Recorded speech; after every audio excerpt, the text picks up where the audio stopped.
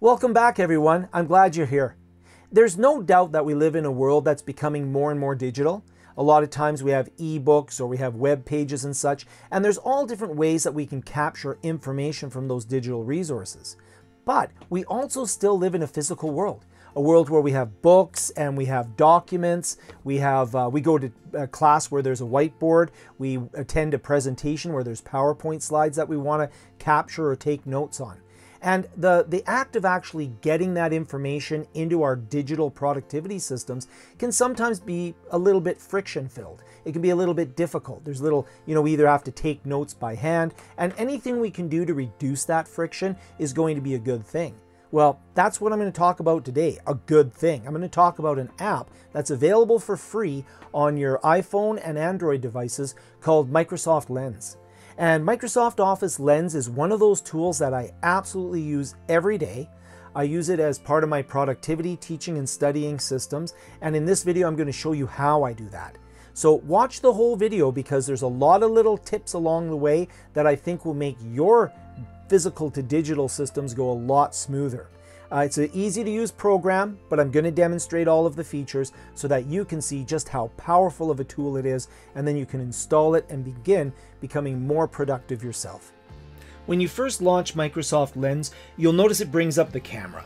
So in this case, I, I just put a piece of uh, blue construction paper here just for the sake of this video so that you don't see my messy desk.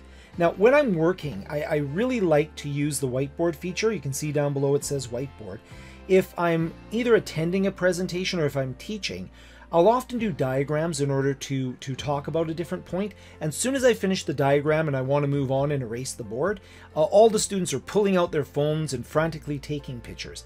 Well, I also pull out my phone and take a picture. And then what I'll do is I'll include that diagram that I did either in my lecture notes or I'll include it in a class notebook. Those are different ways that you can share any diagrams that you might be doing. So super handy. Let's go have a look at that.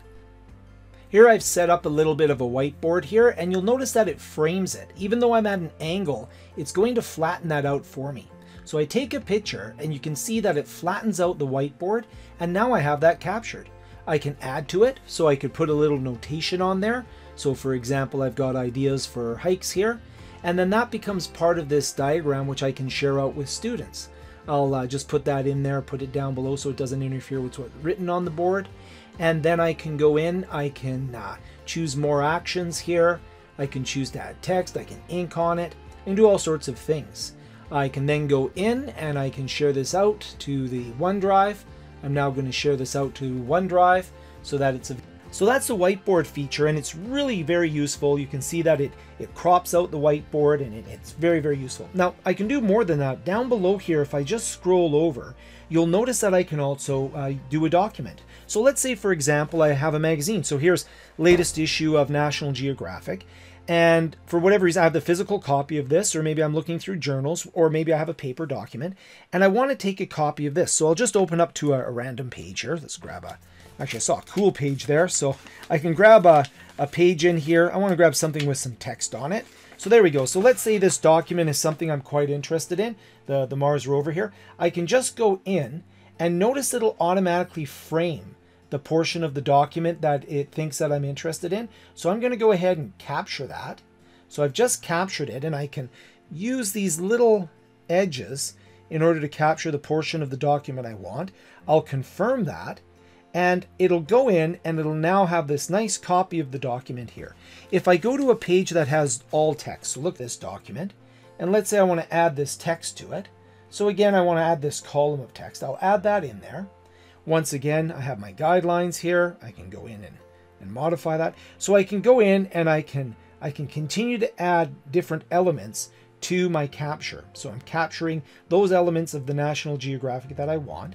And then when I'm done, I'll just hit the done button and I can convert this. I can either save it to my photo library, I can convert it into a PDF, share it out to a OneNote uh, notebook, put it onto my OneDrive where I can also share it out, create a Word document with it embedded in there, and even bring it out to a PowerPoint. You can also use Outlook, send it through the mail in the in the iPhone. It also even allows me to do an immersive reader if it's text-based information.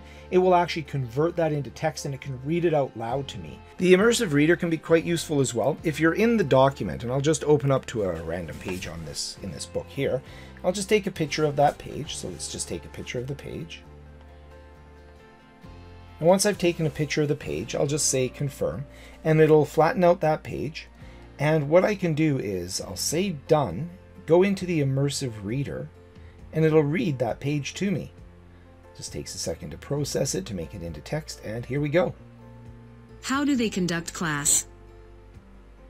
133 even tentative conclusions. So there's an example of using uh, tools such as accessibility tools uh, within the Office Lens. It's really great for that as well. And there's other apps you can use as well. I won't go through them all, but one of the things that you may wish to do is first of all put a name on here. So I'm just going to put a simple name on here. I'll call it Nat Geo and we'll call it 03 2021 and we'll go ahead and say we're done and then I can say let's go ahead this case we'll put it onto my OneDrive folder and it's going to upload that into OneDrive. So now I've uploaded that into OneDrive. Another very cool thing that I can do is something called actions. Now, actions are one of my absolute favorite ways of capturing information because it comes with optical character recognition. So once again, let's say I'm reading a, a book. I love using my Kindle. I love using electronic books, but not every book I have is electronic. Trust me, I have a lot of books. And I still want to be able to take notes. So I'll often have Microsoft Lens open with me while I'm taking notes. So before I read a book, I'll just pop in here and I'll actually usually take this particular item and I'll go ahead and I will say this here uh, is a document. So I'll take the picture of the book. So now I've got the picture of the book and I'll go ahead and I'll just, it'll straighten it out so it makes it nice. So now I have that book. I'll throw that into my OneDrive and we'll just call that, I already have it there, but you can see I've got it there. So it's exported up there. And then I'll go to my actions. And let's say there are sections of the book, I'm reading through the book and I'm like, oh, you know what? I really want to capture this element here these action steps. So I'll just come in here and I'll go in and say capture the action steps. It'll grab that whole page and I just really want the action steps. That's what I'm taking a note on here. So I'm just going to again use my guidelines here and I'm just going to drag this out. So it's just covering that portion of the text that I'm actually interested in taking a note on. And then what it's going to allow me to do is it's going to use optical character recognition to convert that text into actual text. And there may be a little bit of cleaning up that you need to do, but I can then copy that text. So I've copied it. And then I can use whatever productivity tool I want. So let's say, in my case, OmniFocus. And I can say your note on book. Obviously, I'd be more detailed here. And then I can just paste that directly into there. And I've now captured that information and I can act upon it. A lot of people I know like to use Notion. So a lot of people, you can capture it and you can put it into Notion here. So I can go into, let's say this is a notes that I'm taking on this particular book. Again, I can go in, it's sitting in my, in my um, buffer, so I can just go and paste it in there. So you can put it into any of the productivity apps that you want for, for further follow-up. So the actions are very, very useful. A really neat feature as well is if I go to the table capture for one of my actions, if I go in, you'll see that I have a table here. So let's go ahead and begin by taking a photo of the table or capturing the table. And then I'll just take a portion of this table. So let's just take just a portion of this table. We don't need the whole thing for what I'm doing. Well, all I'm doing is demonstrating, but if I just want to take a portion for teaching or I just want to take a portion for my notes, I can go in and just adjust these guidelines a little bit. We'll just make sure that I've got this here. There we go. So we'll adjust the guidelines just a little bit. We'll confirm that, and it'll actually extract the data from this table. Now, in this case here, I, I kind of clipped that bottom row, so I'm going to close that, and we'll actually capture it again. We'll just go ahead and capture just the portion I want, maybe. So we'll grab this here, and we'll go ahead and just grab the portion of the table I want. And if there are mistakes in there, you do have a chance to go in and edit them. But if you clip a row, it's in my case, I just find it easier to sometimes just recapture. But because uh, it'll see all of the numerical values in here, make sure I'm not clipping a row.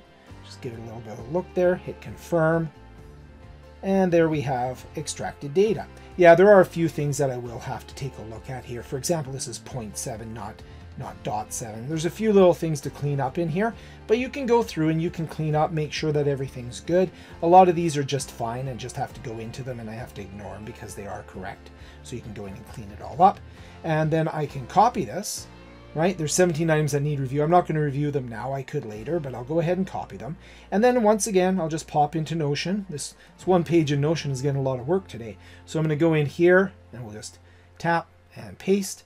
And you can see there's my table all there in Notion with these are actual numeric, val numeric values. You can see that it is showing them as numeric values.